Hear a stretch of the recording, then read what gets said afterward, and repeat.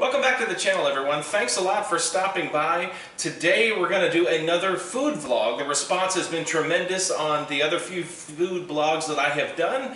And so today we're going to talk about Thai fried rice. And this is one of the dishes that my kids enjoy, I enjoy, the whole family enjoys. And it's super easy and I'm going to show you how I put it together. So let's go through the ingredients that you need to make Thai fried rice. Okay, so when I make Thai fried rice, I try to keep it as simple as possible. And the three main ingredients that I use to flavor the dish are oyster sauce,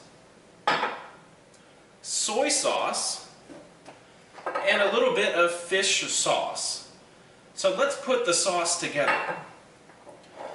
So when you're making Thai fried rice, it's important that you use ratios to make sure that the flavor, the salty and the savory are all balanced.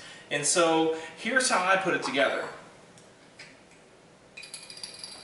Since I have about four cups of rice, that's jasmine rice that's actually been in the refrigerator for 24 hours, I'm going to actually make a little bit more sauce. And so what I'm going to do is three level tablespoons of oyster sauce,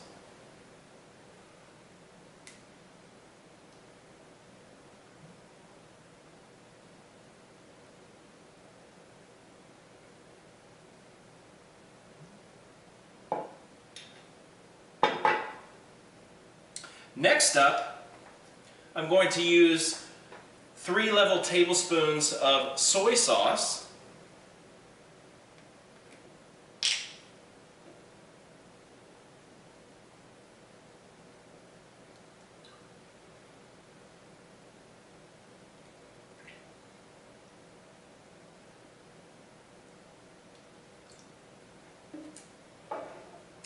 And then finally, I'm going to use roughly about one tablespoon of sugar.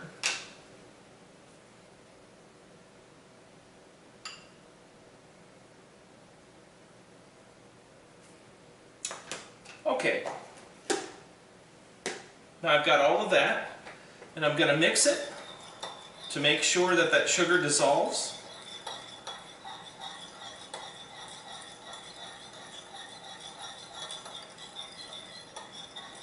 That looks pretty good to me. Now to add the extra little kick, I'm going to put a few splashes of the fish sauce.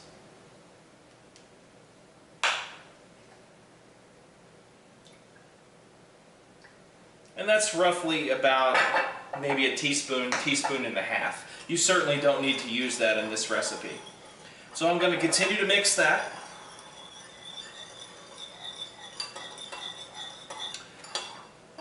Everything is all combined. It's a little bit thick, so what I'm going to do is I'm going to dilute it with just a bit of water.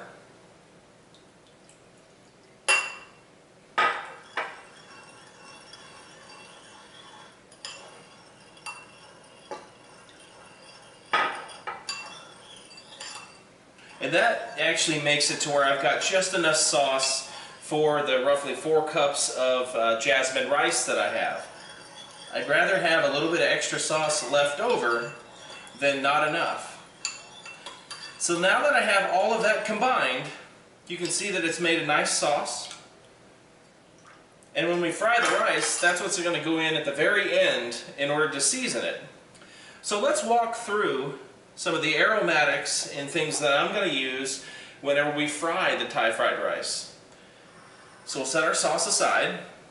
Remember, this was about four cups of jasmine rice. It's been in the refrigerator for 24 hours and it's actually really dry. And that's what you want. Whenever you put it in the wok, it's going to reheat, but by having it dry like that, it won't clump and it's going to be just like what you've had at the restaurant. Okay? What I also have here is about two cloves of garlic that I've chopped up pretty finely. I have one medium-sized shallot I have some green onions for color that I'm going to use at the very end. And then I also have roughly a half of cup of Thai basil that I've gotten out of my garden. So I've rinsed that.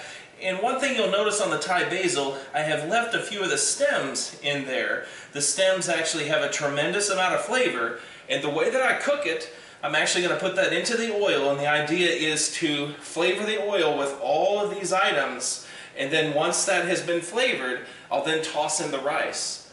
So let's go over to the wok and get started. All right, here we are at our wok. So I've got it on high heat. This is inside, so it's not going to be near as hot as it was when we did the pad thai outside, but it's going to be hot enough. So I've got my wok ladle, and I've got my round bottom wok. It's been seasoned. What I'm going to do now is as this is heating up, I'm going to give it just another minute or so. Now we're going to add some cooking oil. So this is a high temperature oil. Notice that I'm going around the wok. It's starting to smoke. That tells me that the wok is good and hot.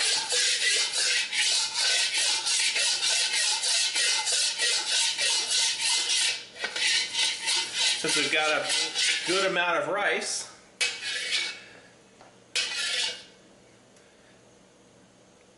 I have roughly about three tablespoons of oil in there.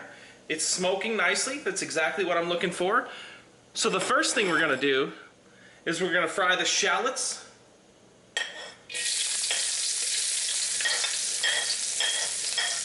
We're going to try to season that oil. And we're also going to fry the garlic. It's going to move quick. There we are. Now we've got that oil seasoned. Gonna put the basil in. It's gonna season that oil as well. Exactly what we're looking for.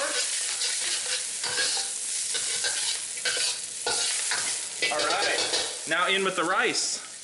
Remember that was dried rice that has been in the refrigerator. You can see how dry that is. Exactly what we're looking for. Just break it up.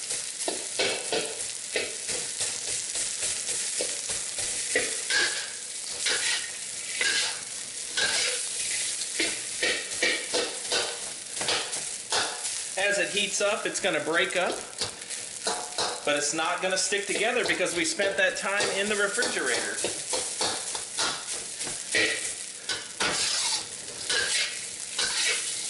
Continuing to move it around.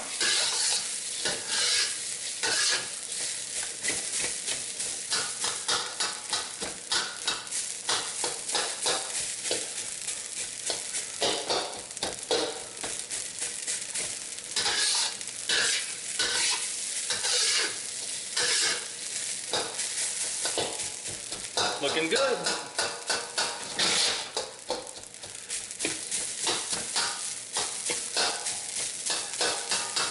Now you can always add chicken into this if you like, or tofu. My kiddos actually don't care much for chicken in the fried rice, so we're gonna leave it out this time. If it was just for me and my wife, I would absolutely put some chicken in, and I would use that secret recipe that I had mentioned in the previous video. So stay tuned for that. Make sure you subscribe, because I'm gonna be revealing what that secret treatment is that I do for the chicken that makes it super tender. Looking pretty good here. I think we're just about ready for the sauce. Everything is getting heated up nicely.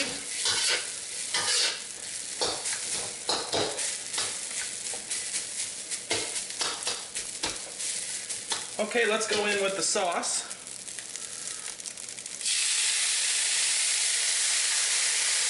I'm not going to use it all. I want to make sure that I don't over season it because I still want to have some of the rice flavor in there and I don't want it to overpower any of that rice. So we'll just keep stirring it up here. Look how good that looks.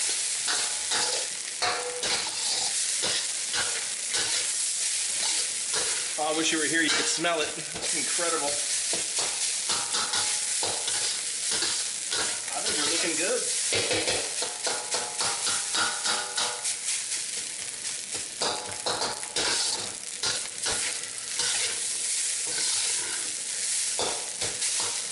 Go ahead and add just slightly more sauce.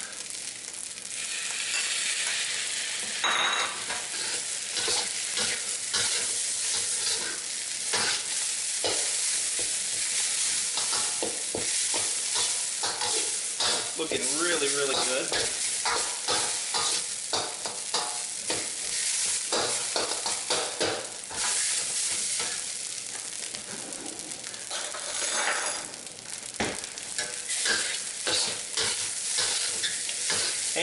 good chef has got to try the dish that you're going to put out for your family. So let's try it.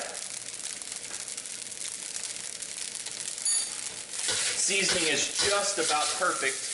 What I'm going to do now to finish it off is I have a little bit of kosher salt. So I'm going to add a little bit of kosher salt into it. Gonna mix it up nice and well.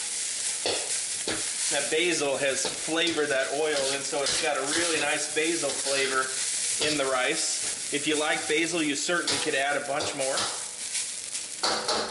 All right, now we just need to finish it off with our green onions. And there you have it. It's that simple. That took us probably all of maybe five or ten minutes to get everything together. And all you had to do was make the rice the night before and put it in the refrigerator. Let's plate it up and I'll show you the end result. Okay, here it is. This is the finished product. This is the Thai fried rice. The hardest part about it was making the rice last night. These ingredients that I showed you, you likely have already in your pantry. And just remember the proportions that I shared with you earlier in the video. It's absolutely fantastic. Thanks for watching. We'll see you again soon.